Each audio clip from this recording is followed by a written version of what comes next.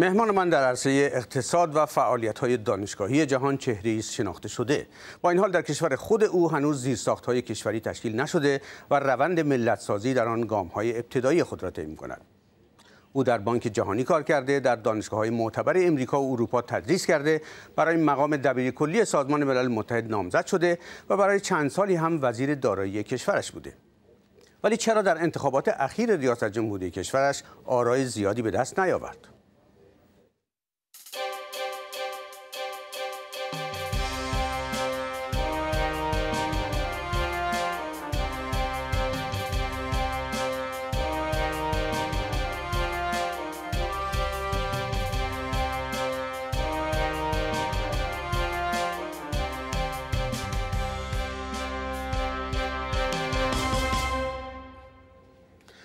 اشرف غنی احمدزای به برنامه به عبارت دیگر خوش آمدید.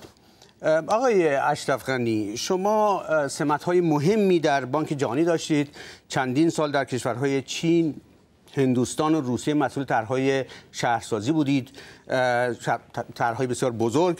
در دانشگاه مهم امریکا و اروپا تحصیل کردید و بعد درس دادید. با هر مقیاسی که آدم نگاه می‌کنه موفقیت ها و دستاوردهای شما بسیار چشمگیره.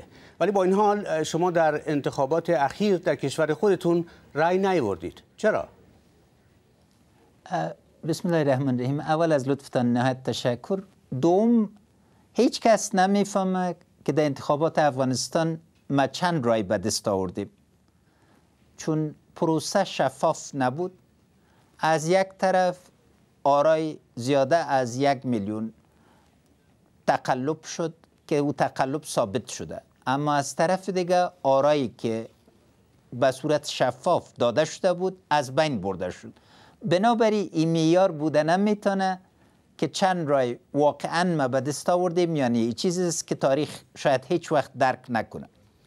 ولی شما فکر می‌کنین تمام این ناکامی شما در انتخابات فقط به خاطر این بود که آرا شفاف نبود؟ حدس نمی‌زنید که ممکن رای نیاورده باشید؟ یکی از دلایل است. بله. چون یک مؤسسه بسیار معتبر جانی تخمین کرده که بین 800 هزار و یک میلیون رای از پیش شاید دزدیده باشند. اما نکته دومی بود که امکانات مادی ما با مقایسه آقای کرزی و دکتر عبدالله نهایت کم بود.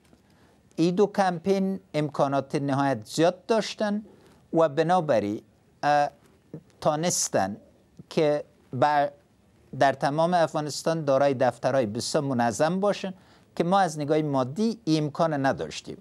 اما اگر به دو مناظره که در تلویزیون و رادیو صورت گرفت توجه کنین. من فکر می‌کنم که نظریات ما مورد توجه عمده مردم افغانستان قرار گرفت و امروز باز هم به اهمیت امون نظریات خوشبختانه رجت می‌کرد. مخالفان شما آقای احمدزای میگن که شاید علتش این باشه که شما برای مدت طولانی از افغانستان دور بودید در تمام دورانی که بسیاری از کسان سیاستمداران فعلی افغانستان در جنگ با نیروهای شوروی بودند و برای رهایی کشورشون فعالیت می‌کردن شما نبودید در افغانستان. و بعد بعد از 24 سال شما برگشتید البته این مسئله درست است اما در عین حال قسمت زیاد افرادی که خود مطرح می‌دانن از افغانستان دور بودن اینا یاد پاکستان تشریف داشتن یاد ایران یاد تاجکستان و غیر دیگه. تعداد نهایت انگوش شمار بودن که در داخل افغانستان موجود بودن دوم دوری ما از افغانستان در عین حال موجب ازی بود که دست ما به خون آغشته نیست. و سوم در تاریخ ما همیشه آن بوده که ما به سالهای مختلف رفتیم. ما در یک قریه افغانستان 400 سال سابقه زندگی دارم. حداقل که از نگاه تاریخی ثابت شده. بنابراین این یک مسئله بسیار ساده است که بگوین دور بود. اگر دوری ما موجب عظیم شد که اوضاع درک نتانست نتانم چطور تانستم یک قسمت طرحهای عمده انکشاف افغانستان در دوران وزارت مالیم طرح کنم و به انجام برسون آقای احمدزای شما طی سالهای اخیر منتقد آقای کرزی بودین و دولت ایشون رو فاسد و ناکارآمد و ناتوان می‌دونید. شما خودتون سه سال وزیر دارایی همین دولت بودید. اگر این دولت فاسد بوده شما هم می‌تونید به طریق اولا شریک باشین در این فساد. این سوال بسیار ساده است. من در سه سال اول عضو دولت بودم. در پنج سال آخر در دولت هیچ نوع نقش نداشتیم. دورانی که من در وزارت مسئول بودم میارهای شفافیت و کارآمدی افغانستان رو به بالا بود. ما اعتبار جامعه بین را و اعتبار مردم افغانستان راجع به شفافیت جلب کردیم. ما تانستم به حیث وزیر مالیه مالیات افغانستان مرکزی کنم. پول تغییر بتم. اساس شیوه گمرکات و عواید دولت تغییر بتم. در سال 2005 به اساس معیار Transparency International یا شفافیت بین‌المللی افغانستان مقامش 114 بود که در وسط بود. نه نهایت کثیف بود نه نهایت پاک بود. اما پروسه به طرف مثبت می‌رفت. سال گذشته افغانستان 176 از 180 مملکت بود. بنابراین در پنج سال گذشته یک سقوط فاحش رخ داد و مسئولیت از این معلوم دار متوجه اشخاص و کارمنده هستند که در دولت حضور داشتن جناب کرزی وقتی که انتخاب شدن از ما درخواست کردن که در کابینهشان شمولیت داشته باشم اما من معذرت خواستم چون من آمادگی یک پروسه اساسی و بنیادی اصلاحات ندیدم. بله. ولی شما اگر که اینقدر موثر بودید در وزارت مالیه یا وزارت دارایی چرا در کابینه بعدی شرکت نکردید که به این روندی که شما شروع کرده بودین اصلاحات ادامه بدید؟ دلیل عمده ای بود که اصلاحات در شش ماه آخر حکومت انتقالی به توقف رسید دو جای مورد توجه عمده ما بود دو که یکی هوانوردی یا از نگاه شما ایرانی هواپیمایی بود و ترانسپورت و دوم بلده کابل یا شهر شهرسازی کابل بود. و در اینجا نظریات ما مورد قبول واقع نشد. آقای کرزی فیصله کردن که از نگاه سیاسی اصلاحات اساسی در این موقع صورت گرفتن هم می‌تونه. بنابراین از نگاه فردی اینا ما به این نتیجه که اینا رئیس جمهور منتخب مملکت هستند و اینا باید مسئولیت داشته باشن و چون اگر طرحهای طرحهای بنیادی ما موجود به قبول لیک تیم لازم و یک تیم متحد صورت گرفتن نمی‌تونست بهتری بود. تا از حکومت بیرون شد. حالا شما رو مخالفان شما آقای احمدزای متهم می‌کنن که هم در وزارت دارایی و بعد هم در که رئیس دانشگاه شدید در دانشگاه کابل شما قومگرایی کردید. به این معنا که از اقوام پشتو بیشتر به خدمت گرفتید و در دانشگاه سر مسئله اون جنجالی که سر پوهنتون یا دانشگاه در گرفت شما با این حمایت از این اصطلاح ملی در واقع جانب پشتون ها رو گرفتید. شما جوابتون چیه؟ من فکر می‌کنم یه افتضای محض است. که اگر تمام نطقای مرد پوانتون یا دانشگاه کابل ببینین من گفتم نه پوانتون است نه دانشگاه باطلاق است. و من باطلاق پاک می‌کنم. بعد از او هر نامی که سرش می‌گذارن مردم بگذارن. این فیصله من نبودی فیصله وزارت محترم عدل یا من نمیفهم اصطلاح ایرانی شما چیست؟ دادگستری بله. دادگستری بود. چون اصطلاحات ملی جزء یک ماده قانون اساسی است. اما زبان سانسور شده نمی‌تونه. بله. ما در دانشگاه کابل هم به پشتو و هم به دری نطقای ما دادیم. و مشکل عمده است که بار اول در تاریخ ما مردم واقعا مخصوصا محصلین. قابلیت فهم اردو زبان همگام نداشته. و این مسئله است که با تعصب و شعار دادن حل نمیشه. تنها از نگاه افهام و تفهیم و از نگاه فراهم آوری درسا در اردو زبان که زبان های رسمی افغانستان است صورت گرفتن بید. اگر در وزارت دارایی کدام یا مالی ما کدام اتهام بوده ثابت کنن که به چی نگاه. یک نفر من از یک قبیله بسیار بزرگ پشتون تعلق دارم. نشان بدن که من یک نفر از او قبیله در وزارت مالیه انتصاب کرده باشم. در حالی که وزارت های دیگه وجود دارن که یک قسمت زیاد افرادشون نه تنها از یک ولایت بلکه از یک ولسوالی افغانستان بودن. افرادی که در وزارت مالیه انتخاب شدن به اساس میار بسیار واضح و روشن امتحانات انتخاب شدن و امروز خوشبختانه یک تعداد زیاد از اونا که به تمام اقوام افغانستان انتصاب دارن هم بر بسوی ماستری و دکترا رسیدن و قسمت زیادی که از افراد عادی شروع کردن امروز به سطح مدیر کل و مسئولین رسیدن. بسیار خوب. آقای احمدزاده اصولا در افغانستان اختلاف قومی به حال وجود داره. مثل آتش زیر خاکستری میمونه که هر از گاهی به دلایلی اینو بروز پیدا می‌کنه. نظر شما اصولا برای اینکه این اختلافات از بین بره چیه در افغانستان؟ بعضی ها مثلا نظام فدرالی رو پیشنهاد می‌کنن. نظر شما چیه؟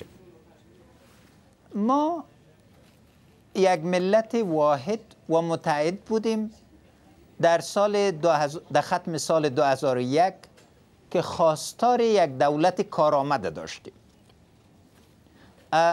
در ملیت بودن ما شک نبود چون اگر افغان... یک قسمت مردم افغانستان خدا ناخواسته می‌خواستن جدا شوند از پیکر از این مملکت هیچ گونه مانی وجود نداشت.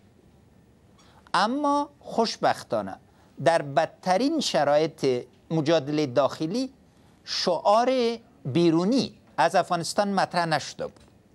در حالی که تمام همسایه ما افراد دارن اقوام دارن که خواستار جدایی بودن. مشکل در این پیدا شد که ما دارای دولت کارآمد نشدیم که بتانه این بنیاد ملی را تقویه کنه.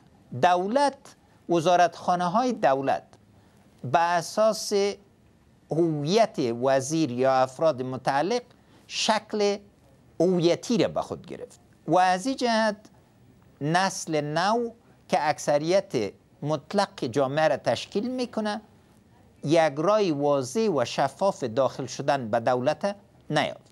و در عین حال بدبختانه. اقتصاد ما که مطلق ملی بود و همه اقوام در حضور داشتن باز هم به اساس مداخله سیاسی چون اقتصاد اقتصاد سیاسی مبدل شد یک میدان مبارزه غیر قانونی و غیر مسئولانه گردید از این جهت یک قسمت دلالای قومی به وجود آوردن آمدن که در منافع با هم یک دیگر شراکت دارن و می‌تونن منافع مشترک خود تأمین کنن.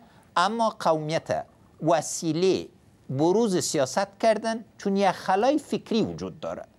بار اول از از شروع قرن بیست که در افغانستان یک خلای فکری واضح وجود داره به این معنی که یک اجماع وجود نداره که ما چطور دولت و ملت به صورت اساسی درست می‌کنیم و به پیش میره خب حالا این خلای کماکان هم وجود داره آقای احمد حالا شما می‌خواین چه برنامه شما می‌تونین ارائه بدین برای اینکه این مسائل حل بشه؟ ما یک کتاب نوشتیم به نام دریچه به نظام عادل. که هم به دری و هم به پشتو در عین روز روز نشر شد. و حال در صدد عزیزتیم که به زبان ازبکی هم ترجمه شد چون زبان سوم ماست. ما یک جامعه استیم که زبانهای متعدد داریم و جز افتخارات ماست افتخارات کلتوری ماست که زبانهای متعدد داریم. و باید این فضای افهام و تفهیم با وجود به قبولی سرتاسری راجع به مسائل هویتی کوچک ما جز افتخارات ماست. ما یک بخش عمده ترکتبار داریم که جز تاریخ درخشان ما را تشکیل میده. عین حال گویندگان زبان دری داریم گویندگان زبان پشتو داریم زبان بلوچ نورستانی و غیره. بنابری طرح اساسی به سه مرحله است. یک چطور یک دولت کارآمد تشکیل می‌کنیم که در او وحدت ملی ما تجلی پیدا کنه و ما بتانیم به پیش بریم.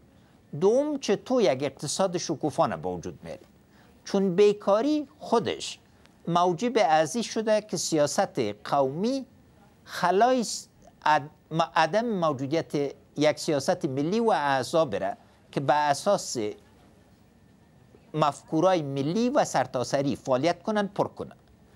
و سوم مسئله هویت است. تاریخ ما هم در این بخش قابل افتخار است و هم نقاط تلخ داره.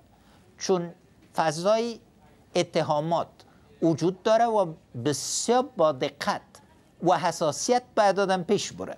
چون اتهامات بسیار زود رخ داده می‌تونه. و نظر ما است که تا ساختارهای ما نهادینه نشه و ما فضای اعتبار با وجود نبریم با این مسائل دوچار خواهد بودیم. بسیار خوب. حالا این نه فقط مسئله قومی و بسیاری مسائل دیگه که شما هم در خلال صحبتاتون ذکر کردید آقای احمدزای مونده که اینا حل بشه و دولت آقای کارزای الان با این تمام این مشکلات مواجهه. حالا به هر شکلی که شما ممکنه مخالف باشه همطور که اظهار کردین آقای کرزی الان رئیس جمهور شده ایشون با مشکلاتی روبرو هستند شما به عنوان یک فرد متخصصی که کارهایی هم در گذشته انجام دادید در جهت نهادینه کردن بسیاری از مسائل کشورداری چه کمکی می‌تونین به آقای کرزی بکنین؟ اگر از شما دعوت بکنن برای شرکت در کابینه قبول خواهید کرد؟ دو موضوع را اصلا فرق کنیم. اول کمک اول نقطه از که ما باید انتخابات بعقب بگذاریم. او مسئله ختم شده. امروز, امروز آقای کرزی رئیس جمهور افغانستان است و تمام مردم افغانستان به صورت عموم و ما به صورت خاص موفقیتشان می‌خواهیم در روزنامه گاردین امروز مگ مقاله دارم که تشریح می‌کنه که چطور اینا به یک سیاستمدار مورد اعتماد بدل شده می‌تونن از این جهت تمام تجارب ما که از نگاه بینالمللی در اختیار ممالک دیگه قرار می‌گیره در اختیار حکومت ایشان و همکارانشان قرار داده خواهد شد. شمولیت شخص ما در کابینه شرایط داره. باید یک تعهد واضح به جو... جوانا زنا و فقرای افغانستان به اساس یک چارچوب واضح اصلاحات بنیادی وجود داشته باشه غیر از او ازیای وقت است. چون آقای کرزی باید با تیم کار کنن که مورد اعتبار ایشان هستند و ایشان مورد اعتبار از هستند ایجاد فضای اعتماد بین ما و آقای کرزی وقت می‌خواه و بدون میارهای بسیار واضح تعهد اصلاحات صورت گرفتن هم می‌تونه. بسیار خوب. آقای کرزی صحبت از دولت مشارکت ملی کردند. و این به این معناست که نه فقط اشخاصی مثل خود شما بلکه سازمان ها و گروه های سیاسی دیگه و شخصیت های دیگه افغانستان هم به تعبیر آقای کرزی به تعبیر دولت مشارکت ملیش باید در اون شریک باشند. شما فکر می‌کنین که آقای کرزی آماده هست برای تغییرات بنیادی که باید به وجود بیاره برای اینکه بتونن اشخاصی مثل شما در شرکت بکنن؟ پیش از وقت است که در این قضاوت کنیم. امید تمام مملکت است که آقای کرزی باید آمادگی از پیدا کنن که نه تنها یک فصل نو بلکه یک کتاب نو باز کنن.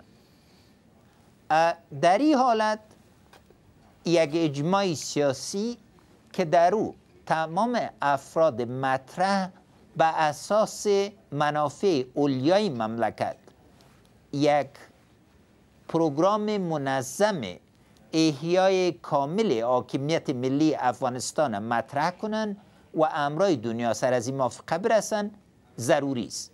این ضرورت زمان است این ضرورت مردم ماست در این بخش برای آماده کردن سهولت چونین طرح و عملی کردن از این معلوم دار من مثل باقی افغانای وطن پرست آماده به قربانی استم.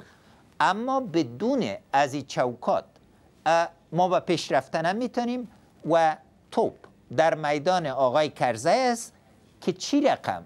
جلب اعتماد قشر سیاسی افغانستان و مخصوصا جلب اعتماد مردم افغانستان انجام خود دادن بسیار خوب. یکی از انتقاداتی که با آقای کرزی می‌کنه به خصوص به اصطلاح کشورهای غربی که کمک های کلونی هم از نظر نظامی و هم مالی به افغانستان می‌کنن اینها به عنوان شرط حتی گذاشتن برای آقای کرزی مسئله از بین بردن فساد در دستگاه دولتی افغانستان آقای کرزه اینا یکی از علل این فساد رو پولهایی هستش که از خارج وارد میشه به افغانستان و به از طریق غیر دولتی اینها تقسیم میشه و هزار و یک قراردادها و قراردادهای دوم و سومی که از طریق شرکت های بزرگ بسته میشه و از این طریق این پولها صرف میشه مسبب این فسادها می‌دونن نظر شما چیه؟ این مسئله را اول من مطرح کردم که طریق استفاده از کمک های بینالمللی دارای فساد قانونی است. به این معنی که این فساد از نگاه قانونی تعریفش فساد نیست اما در حقیقت موجب فساد است.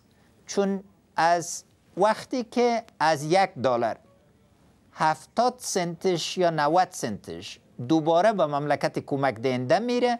این یک نوع عدم شفافیت است. و این انتقاد ما به تفصیل ام در چند مقاله و مخصوصا در کتاب در زبان انگلیسی که به نام Fixing Failed States نشر شده ارائه کردیم. این یک جزء قضیه است و جزء اصلاحات ما باید یک طرح واضح بر استفاده بهتر کمک های بینالمللی باشه و برای کم کردن عدم مفیدیت از یا به عبارت مثبت با وجود آوردن شرایط استفاده مفید و مثبت از اما در پهلوی از چیزی را که آقای کرزی باید متوجه شوند است که فساد سرتاسری در دستگاه اداری دولت افغانستان موجب اعتبار جامعه بینالمللی و مردم بودن هم می‌تونه وقتی که ماشات اگر پلیس ببینیم با وقت بعد از هشت سال انوس هم اجرا نمیشه و وزارت داخلی ما شما وزارت کشور میگین انوس هم تعداد پلیس خود به صورت دقیق نمیدانه. با وجود که ده میلیارد دلار امریکایی سر از این مصرف شده این اشاره از فساد داخلی ما می‌کنه. اتهامات نهایت زیاد وجود داشت که یک تعداد زیاد کرسی های پلیس در حقیقت با فروش گذاشته شده بود. عوایدی که بعض از اراکین دولت ما به دست دارن تخمینش از طرف بعضی مشاورین عالی رتبه آقای کرزی به ده ها میلیون دلار در سال می‌رسه. از این جهت باید در دو طرف قضیه را متوجه شویم و به حیث یک مملکتی که ضرورت به کمک بینالمللی داریم. شروع اصلاحات از خود ما میشه تا بتانیم با افتخار و با موجودیت شفافیت پاکی و معصریت دنیا را قانع بسازیم که کمک های بینالمللی از راه کانال های دولتی انجام بگیریم یکی از راههایی که به خصوص در امریکا مدت هاست صحبتش هست آقای احمدزای مسئله ایجاد یک سمت اجرایی در دولت حالا ممکنه سمتی شبیه نخست وزیر باشه که صحبتش مدت هاست خودتون بهتر می‌دونین که حتی اسم شما هم به عنوان ممکنه که این سمت رو بپذیره یا بهش داده بشه برده میشه. شما چقدر در این مورد می‌دونید؟ شما فکر می‌کنید که این این این شیوه شاید شیوه درستی باشه که حالت کنترل بر دولت داشته باشه؟ مقصد از سیستم ما سیستم ریاستی است. و هر مقام وسطی که با وجود به باید به اساس موافقی رئیس جمهور و به اساس مبنای قانونی با وجود به. پست صدر اعظم در چارچوب قانون اساسی ما گنجایش نداره چون این پست مطرح شده بود. در دوران تقنین سرش اجماع صورت نگرفت لغو شد جز مسوده بود. اگر پست صدر اعظم با وجود میاد باید قانون اساسی تعدیل شد که شرایط فیلی وجود نداره. شاید در آینده ای, ای صورت بگیره. بسیار خوب. آقای, آقای احمدزاده وقتمون خیلی تنگه خیلی سی ثانیه بیشتر فرصت نداریم. من فقط یک سوال می‌کنم. شما موافق به وجود اومدن یک همچین سمتی هستید در افغانستان؟ یک سمتی که اساس قانونی داشته باشه و به اساس موافقه رئیس جمهور صورت بگیره در این شرایط شاید معصر باشه. و شما فکر می‌کنید اگر لازم باشه باید قانون اساسی تغییر بکنه به همین دلیل؟ نه خیر. نه ضرورت به تغییر قانون اساسی نیست در صورتی که یک قانون خاص وجود داشته باشه و هر فرمانی که صادر میشه به توشیر رئیس جمهور برسه. بسیار خوب. اشرف غنی احمدزای خیلی متشکرم از شرکتتون در برنامه به دیگر. ممنون از شما. لطف شماست.